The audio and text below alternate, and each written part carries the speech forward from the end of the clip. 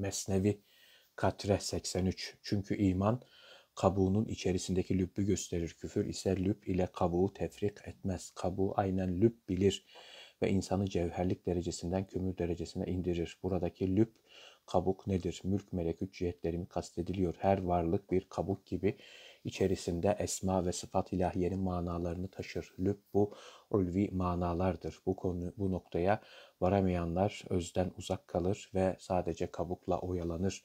İnsanda insan da beden, insanın bedeni de kabuk gibidir. Ruhu ve kalbi ise lüptür, özdür. Varlık aleminin kabuğuyla ilgilenenler kendi varlıklarında da aynı hataya düşer, ruhlarını ihmal eder, bedenlerini besler, vakit geçirir. Çünkü iman kabuğunun içerisindeki lübbü gösterir. Küfür ise lüb ile kabuğu tefrik etmez. Kabuğu aynen lüb bilir ve insanı cevherlik derecesinden kömür derecesine indirir. Burada ifade edilen lüb hem melekut hem de her şeyin iç yüzü ve hakikati anlamına gelir. Mesela kabrin kabuğu iki metrelik bir çukurdur. Lübbü ise ya cennetten bir bahçe ya da cehennemden bir çukurdur.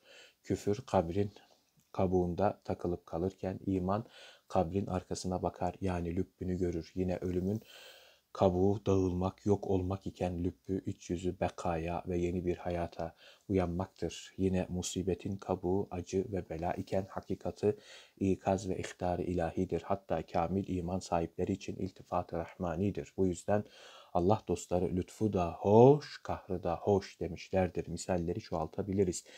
İman nazarında kainat alemi melekut üzerine serilmiş tenteneli bir perdeyken küfür nazarında kainat arkasını göstermeyen kesif bir örtü gibidir. Bu yüzden bütün küfür meslekleri materyalisttir. Çünkü maddeye takılıp manaya intikal edememişler. Yani kabuktan lübbe geçemiyorlar.